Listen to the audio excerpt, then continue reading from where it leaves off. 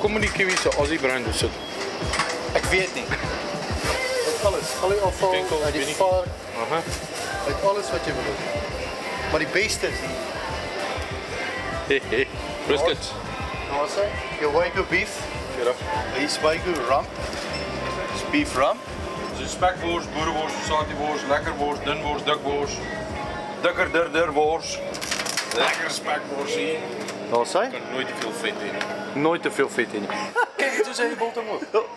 Oh, look at look at that. Pe what did you just pull out there, mate? Over here, Can we? just about finished one of them. Your uh, beef hangs for a long time, eh? So this is um, dry aged beef. That's why you shop here. What do you Yeah. call this? Uh, these are tomahawks with brisket left on it. So it's all, Oh, so you all le- leave a little brisket on it. Leave, leave a bit of brisket on it. There you go. This is beautiful New Zealand meat. This is heaven on earth because you get both your best meat and you can get go home with your own beer kit. You can make your own beer. The WilliamsWarn guys, you're doing an awesome job to get this in your butcher. And any butchers out there, this is a freaking a good idea. Get your customers the opportunity to make their own beer. How do we cook those?